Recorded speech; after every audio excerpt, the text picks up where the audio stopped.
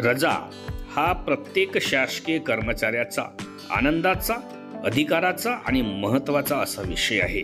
आणि त्याच्यामुळेच आजच्या व्हिडिओमध्ये मी आपल्यासाठी घेऊन आलो आहे अर्जित रजा अर्धवेतनी रजा परिवर्तित रजा आणि मोबदला रजा ह्या किती दिवस घेता येतात.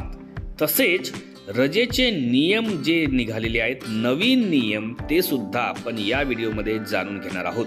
तर नमस्कार मित्रमैत्रिणींनो मी आहे आपला दोस्त आणि होस्ट मनोहर आणि आपण बघत आहात माझं यूट्यूब चॅनल एज्युकेशनल मनोहर. तर रजा या विषयाबद्दलची संपूर्ण माहिती आजच्या व्हिडिओमध्ये आपण बघणार आहोत. त्यामुळेच व्हिडिओ सुरू करण्याच्या पूर्वी या चॅनलवर आपण नवीन असाल तर हे चॅनल एज्युकेशनल मनोहर आपण अगोदर सबस्क्राईब करून घ्या. आणि हा व्हिडिओ बघितल्यानंतर आपण आपल्या परताच न ठेवता याला जास्तीत जास्त शासकीय कर्मचाऱ्यांना शेअर करा. चला तर मग आजच्या या व्हिडिओच्या टॉपिकची संपूर्ण माहिती आपण आता बघून घेऊया. तर सर्वात पहिल्यांदा आपण बघूया की अर्जित रजा ह्या काय असतात आणि त्या किती दिवस घेता येतात? राज्यातील शासकीय कर्मचाऱ्यांना तीनशे दिवस तीनशे दिवस यामध्ये एका वेळेस एकशे ऐंशी दिवस अशा प्रकारे अर्जित रजा घेता येते. एका कॅलेंडर वर्षामध्ये जानेवारी ते जुलै या सहा महिन्यात कर्मचाऱ्यांच्या खात्यात पंधरा दिवस तर ऑगस्ट ते डिसेंबर या सहा महिने कालावधीमध्ये पंधरा दिवस याप्रमाणे रजा जमा होत असतात. तीनशे दिवसांपर्यंत रजा जमा करता येतात त्यानंतर मात्र रजा जमा करता येत नाही. यामधली दुसरी रजा आहे अर्धवेतनी रजा.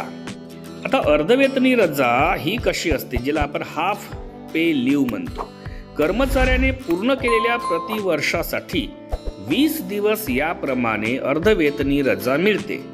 एका कॅलेंडर वर्षांमध्ये माहे जानेवारी ते जुलै या सहा महिन्यांच्या कालावधीसाठी दहा दिवस तर माहे ऑगस्ट ते डिसेंबर या सहा महिन्यांच्या कालावधीकरिता दहा दिवस. याप्रमाणे अर्धवेतनी रजा जमा होते. परंतु ही रजा कर्मचाऱ्यांच्या निलंबन काळामध्ये धरता येत नाही. त्यानंतरची रजा आहे परिवर्तित रजा. आता परिवर्तित रजा म्हणजेच कम्युटेड लिव्ह परिवर्तित रजा ही कर्मचाऱ्यास देय असणाऱ्या अर्धवेतनी रजेच्या निम्मे दिवस अनुदेय करण्यात येत असते. म्हणजेच अर्धपगारी रजा दुप्पट खर्ची टाकून परिवर्तित रजा मिळत असते. या रजेची कमाल जी मर्यादा असते ती नव्वद दिवस याप्रमाणे मिळते. त्यानंतरची रजा आहे अनर्जित रजा आता डू लिव्ह नॉट ड्यू म्हणतात तिला. ही रजा वैद्यकीय प्रमाणपत्र असल्यासच मिळत असते. यामध्ये जेवढी अर्धवेतनी रजा ही अर्जित होऊ शकते ती रजा म्हणजेच अनअर्जित रजा होय.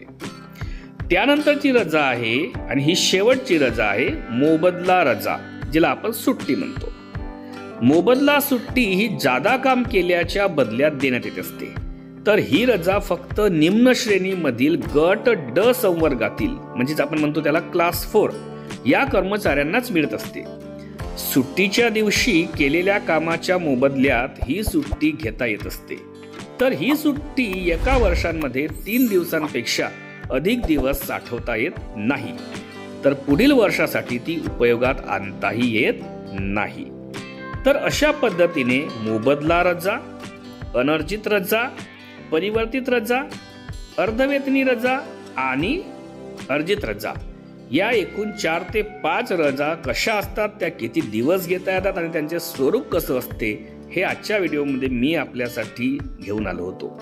आणि त्याच्यामुळेच आपल्या आजच्या व्हिडिओचा जो टॉपिक होता तो अर्जित रजा अर्धवेतनी रजा परिवर्तित रजा व रजा मोबदला किती दिवस घेता येतात?